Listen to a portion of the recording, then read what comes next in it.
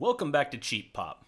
This is your host, Derek Kirby, diving back into the mystery of John Carpenter's The Thing. Now, in part one, we took an examination at who sabotaged the blood bank and pretty much tackled all of Act 1 play by play, telling you who was the first infected, who was then subsequently infected, how we know they are the first two infected in the order of infection, and pretty much anything else of major consequence from the first act of this film. We're going to break this part now into the mystery of the blood test and basically all of Act 2 as it relates as well. There will then be a third part to this series that'll come out a few days later that will wrap up the film's crazy third act when things really get the most difficult to keep a hold of.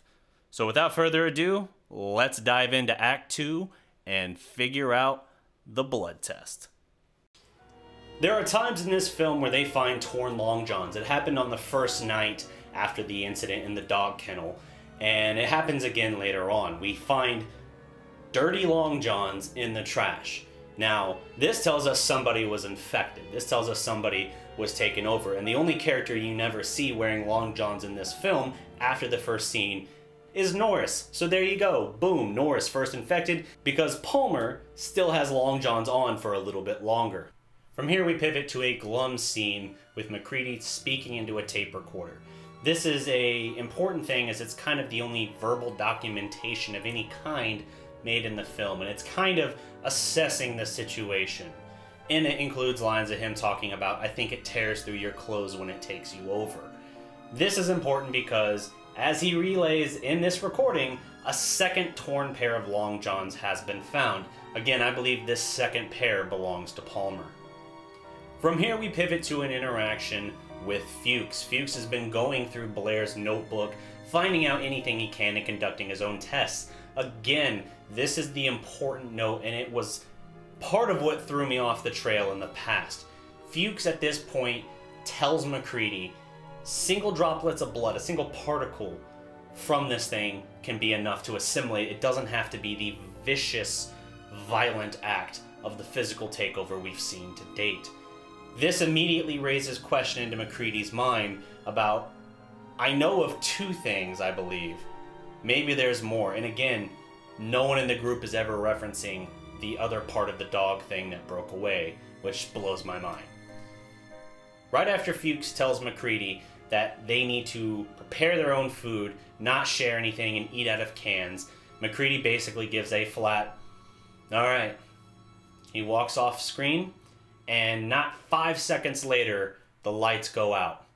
Fuchs moves to the doorway, the dark doorway, holding just a candle, a lit candle in his hand, and you get a quick shock and accoutrement of terror as a figure blurs by. That?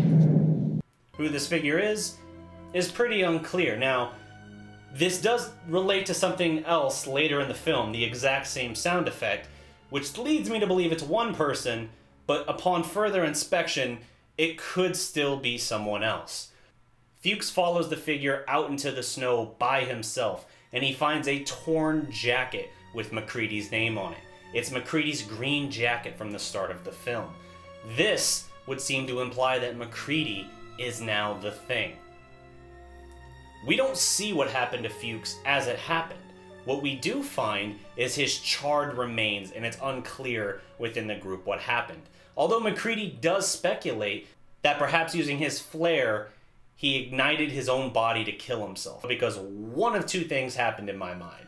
Either he just completely lost faith in the world because we see how how much he looks to MacReady and how dependent on him he is and his advice, how he is his only confidant, and he is their fearless leader. So maybe in his mind, if MacReady is turned, maybe he just, life isn't worth living, I'm gonna burn myself alive. That's an awful way to go, but I guess you can't completely rule it out.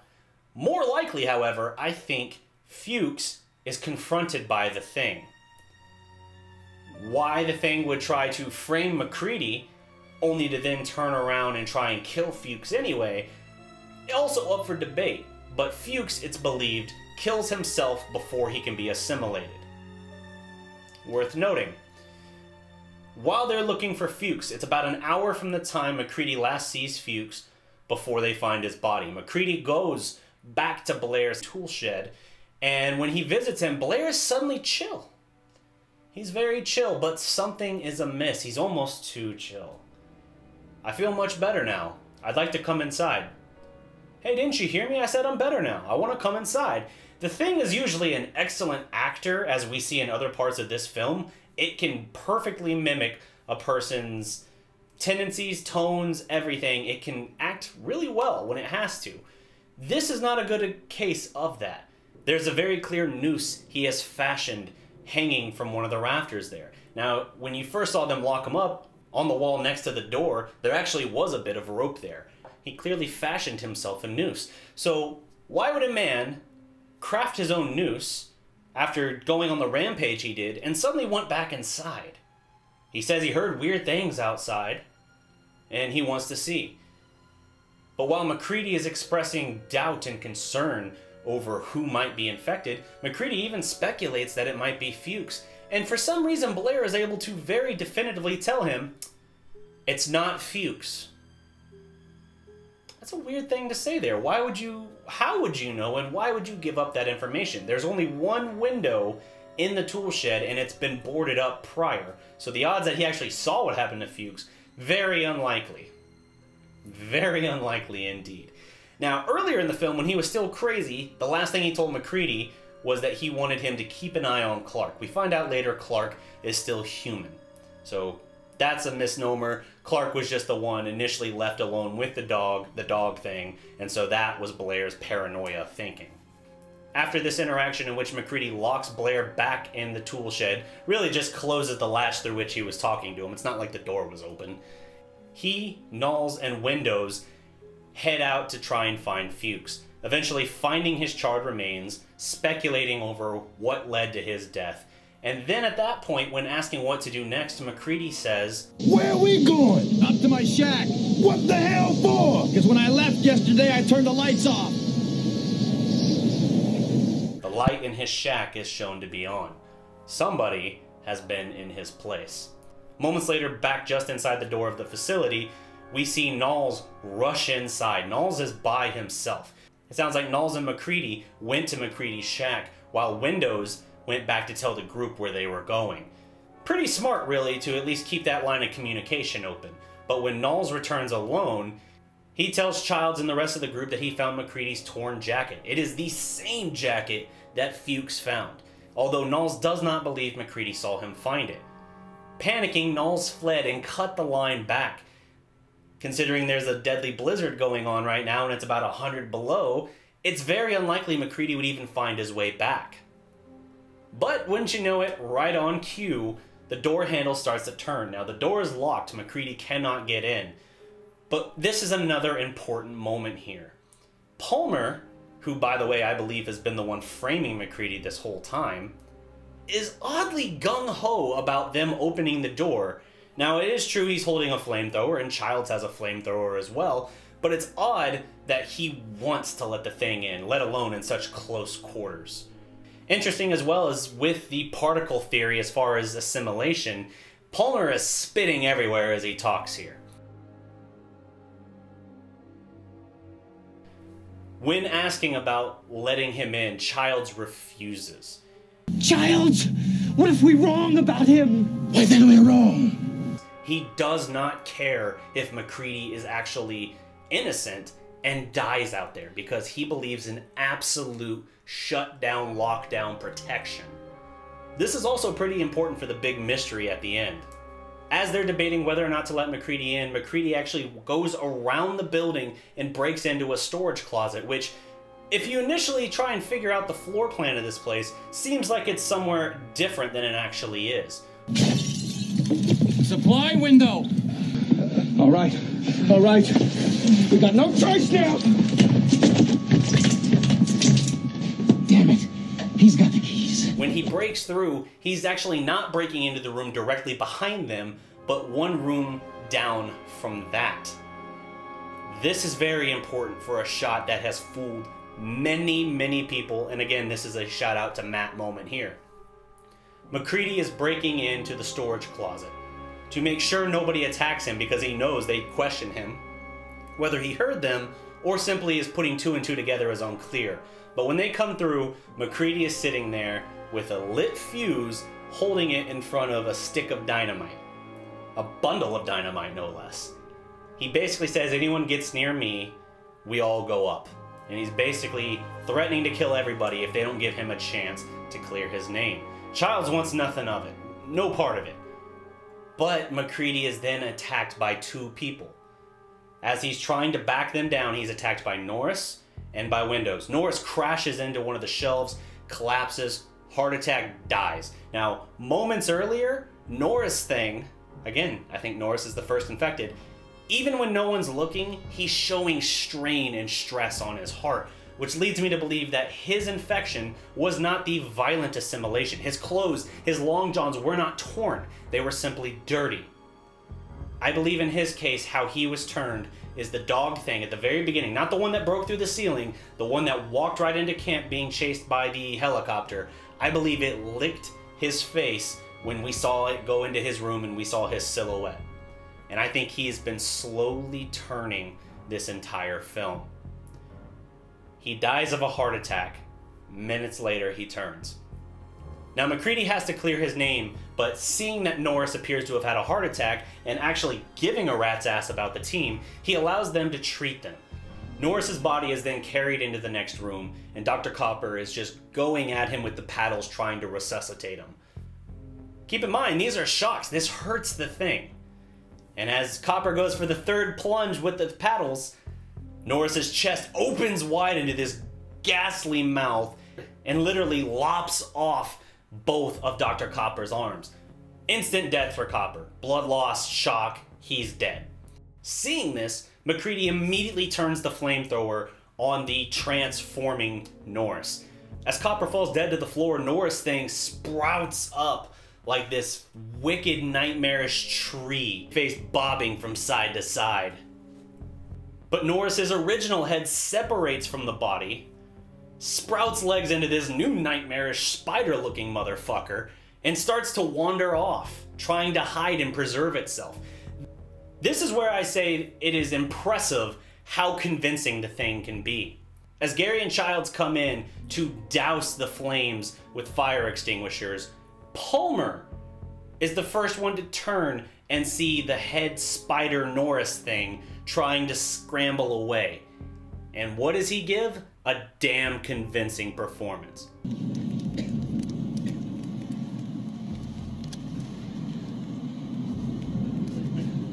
You gotta be fucking kidding.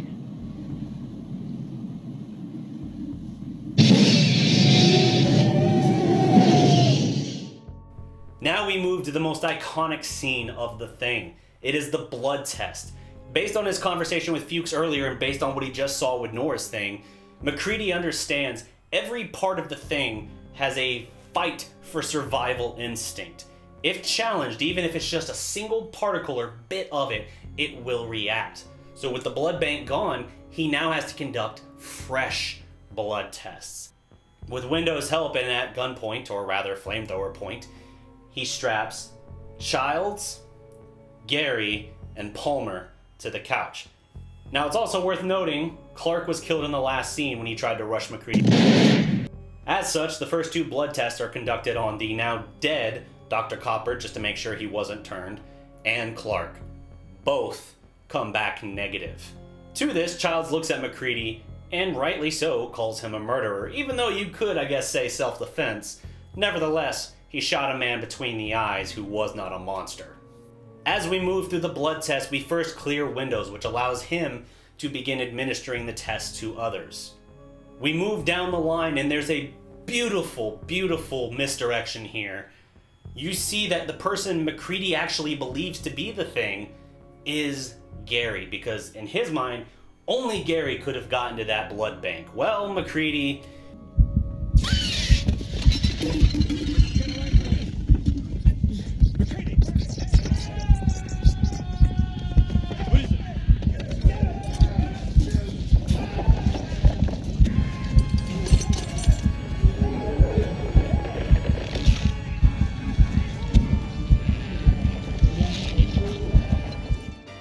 This is fantastic misdirection here. On cue, Palmer's face splits open. He's still tied on the couch to Garry and Childs. They are losing their minds. Windows over there with the other flamethrower is basically too stunned to move, whereas MacReady's flamethrower, because he's just been messing with it to use it to heat the needle, it's not kicking on. So there's this big delay that allows Palmer Thing to get the jump on him. He breaks from the couch and immediately kills Windows. He is starting to turn him, but he's not going to get a chance to. Eventually, MacReady gets his flamethrower working, lights up Palmer Thing, who runs out and falls face down in the snow. MacReady making sure the job is damn well done, throws a stick of dynamite onto the burning body. Bang, Palmer thing is gone. Coming back inside, you see that Windows is now beginning to turn, and wasting no time whatsoever, MacReady lights him up and ends that there. You get a great line here from Garry as well that I love. Have to have to let that play.